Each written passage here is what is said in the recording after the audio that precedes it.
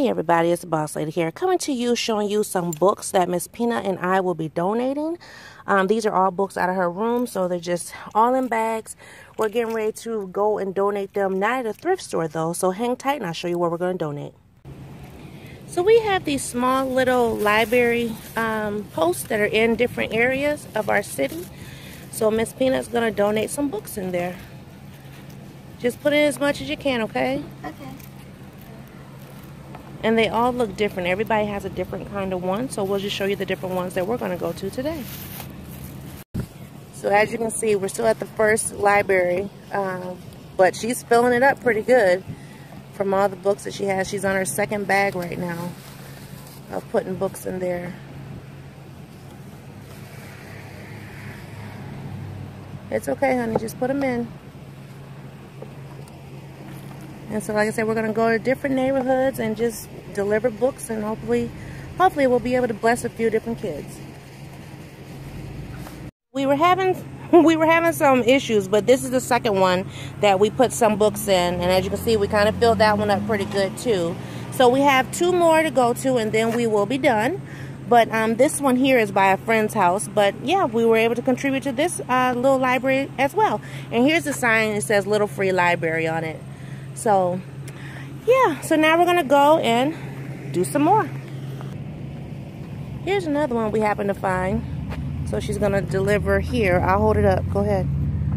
Try to stick it on the side. Yep. And this just helps the neighborhood and the community contributing books. This one's kind of packed, so we're not going to put a lot in this one here. That one might be too big. Try it anyway and see.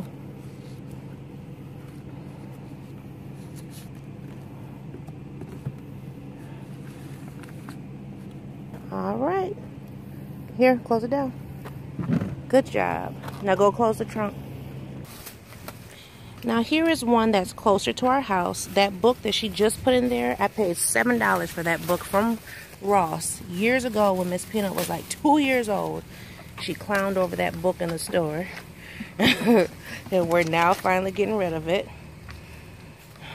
But this uh, library is about a block and a half away from home. And so um, we've always see these these ones when we go on our walk. Um, and then there's one that's a little further down the street. Um, but we're just going around different neighborhoods and delivering books. Education is key. Reading is definitely fundamental. Go ahead. Is there any books in that one? Oh, that's the one with your name on it? Okay.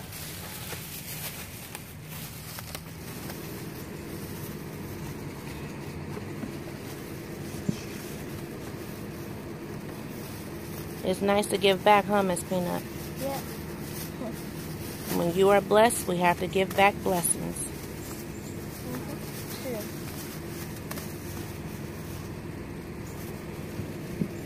And as you can see, she has an array of books. I don't know if you guys saw the Judy, was it Junie B books, but we got rid of a lot of those. A lot of those we didn't buy; they were gifted to us, so we're just giving, giving back, paying it forward.